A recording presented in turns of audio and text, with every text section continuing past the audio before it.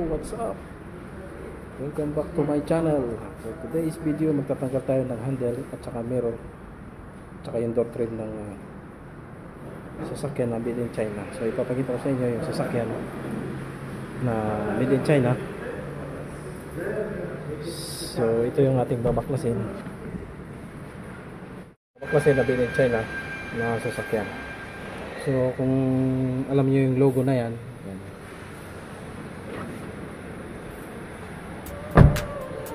So yan yung tatanggalin natin tsaka yung uh, mirror niya.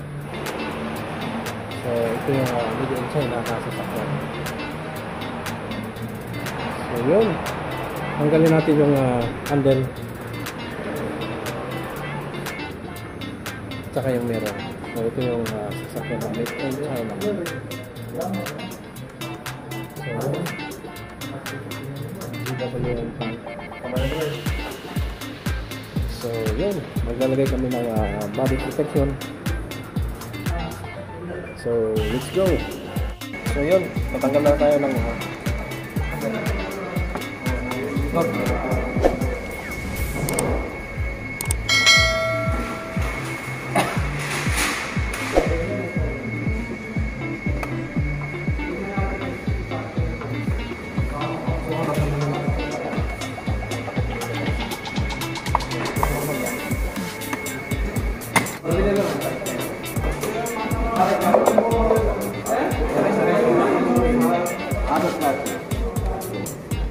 Lang dito.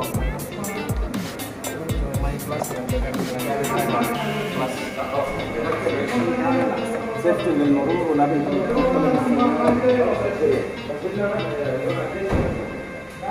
So, bali dalawang pamilya lang ato kung So, ganun lang uh, sasakyan ito.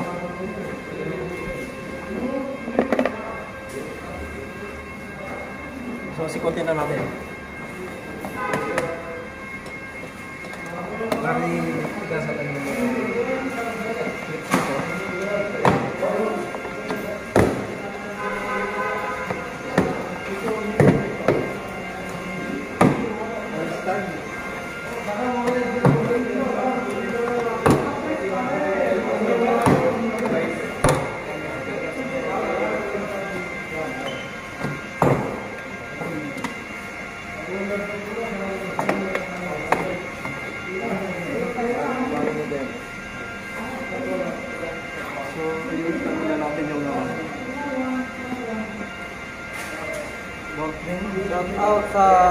1 million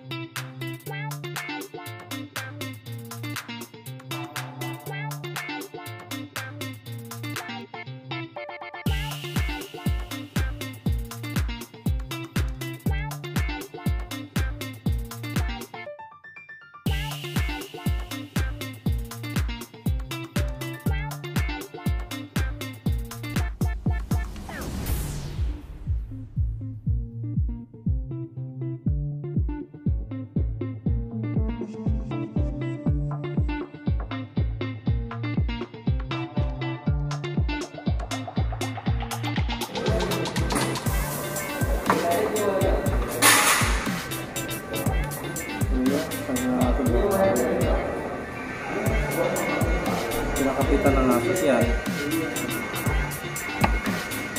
So, pwede natin tagalog ng umyan.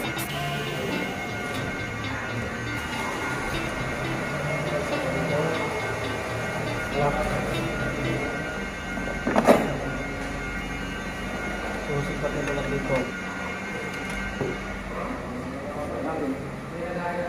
So, slide mo lang yan. I-slide mo lang. Yung dalawang handle ng uh, design na masasakyan. Yun.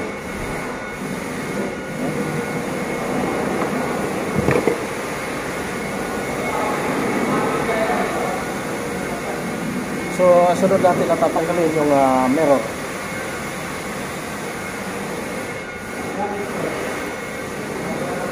Ipapakita ko sa inyo kung paano ko tanggalin yung ah, mirror. So, una, ito. Yung cover nito. Pa. Buksan mo to.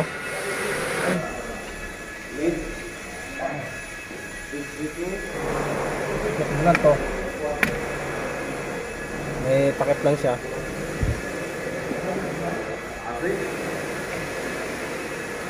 So, balik kunin mo itong mga rubber na na gasket.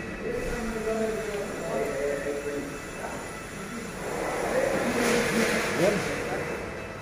So, kagamit lang tayo ng pen.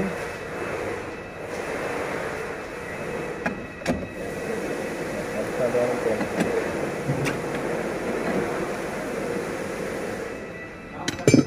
Tsaka buksan natin itong ah, socket ng ah, camera tsaka yung sa mirror.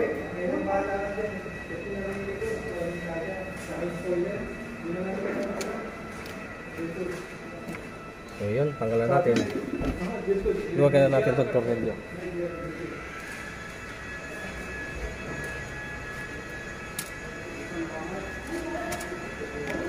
So ito na yung ah, mirror.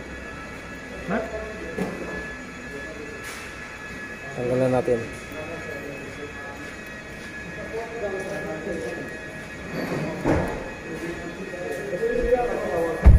So, yun. Tanggalan natin yung mirror. Yan. So, 2025 model na made in China na sasakyan. So, yan yung ah, GWM na 2025 model. So, yun yung interior napakaganda. Loob. So, yun. Made in China. Dito naman tayo sa palikot na pintuan. Eh, ganun din. Tanggalin din natin itong cover dito. Yan. May cover lang din. So, may isang cover na dyan. So, baklasin natin yung ah, yung ah, sidings niya. Titingnan natin kung ah, may ah, wire siya. So, kung wala, eh, babalik natin. So, handle lang yung ating tatanggalin. So, yan. Bubuksan natin. Tanggalin natin yung dalawang ah, tornilyo. Yan, isa sa taas at saka isa lang sa baba. So, yun. Ah, tingnan natin kung may wire siya. Kasi ngayon lang tayo magbubukas itong sasakyan na to na So, yan yung sasakyan na GWM.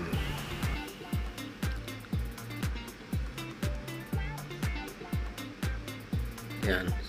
So, tanggalan natin yung ah, cover niya, yung sidings.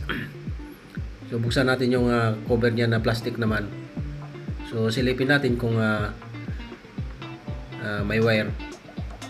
So yan, gamit lang tayo ng ah, cutter blade. Tsaka yan. so silipin natin kung ah, mayroong ah, so wala. Wala tayong nakitang wire.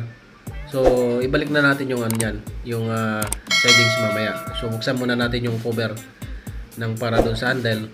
So gagamit lang tayo ng 30 yun, T30 yan so matatanggalan natin yung handle so yun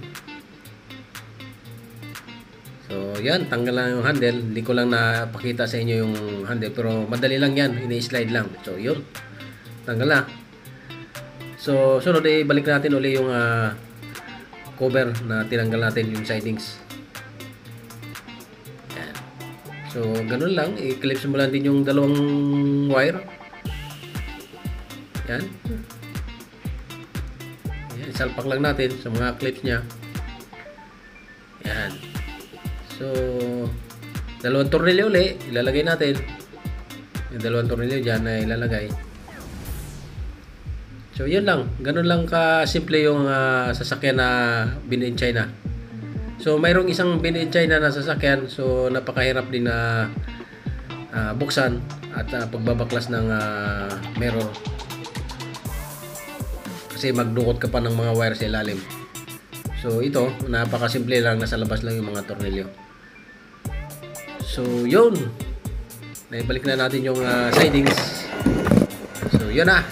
So yun, naibalik na natin yung uh, pintuan dito sa likod. So bali hindi na natin tinanggal kasi wala naman siyang wire. So yun, thank you so much for watching. God bless to all.